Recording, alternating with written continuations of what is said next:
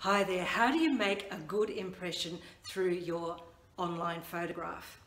Hi, it's Sue Currie with your Friday FAQ and this week we're going to look at your professional profile photograph and the brand image that you want to portray and I'm going to give you a couple of tips on how to make that positive first impression because after all that first impression is made online these days. So the first thing I'm going to suggest is use a professional photographer. Now, I know a lot of people don't feel comfortable having their photographs taken, which is pretty incredible in this day and age when selfies are everywhere. But the main thing is that really a selfie is not going to cut it for your professional photograph.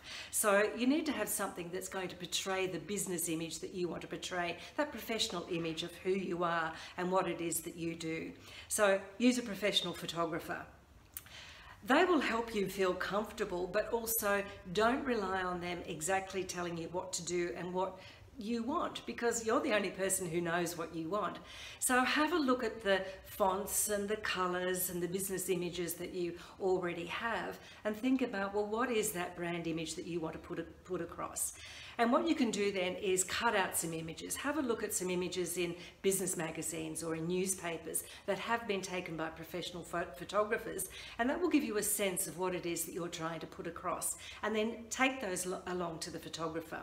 They're what they call tear sheets and uh, that's something we used to use back in my modelling days. That was my very first job and I actually did that for 15 years. So I know about how, how to work with photographers and we take tear sheets along uh, to have our portfolios designed the way that we wanted to have them designed.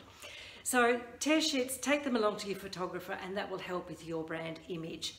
The next thing to think about is the pose. Now really you don't have to think about that too much. They will help you. They'll guide you where to stand and where to look and what to do. Uh, but really you're thinking about a head and shoulders photograph initially.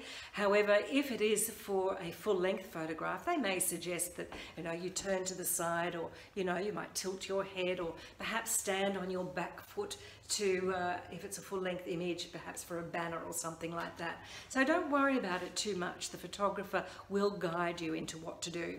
But the most important thing is for you to remember is that nice, warm, friendly expression. That's what's going to make that strong first impression. Now you don't have to be all toothy and smiley if that's not your, your style, but a warm, friendly expression. So look through the lens of the camera Think about a happy moment or someone you care about and think about that time that takes you back and just a nice, warm, friendly expression. That's when they'll snap the shot, uh, the shot and that's going to be the best image for you.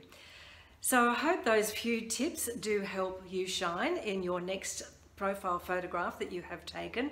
And if you need some help, get in touch because we do have a range of photographers that we work with. However, you can just simply look up personal branding photographer in your state or wherever it is that you live and I'm sure you'll find someone who can help you. So until next time, keep shining.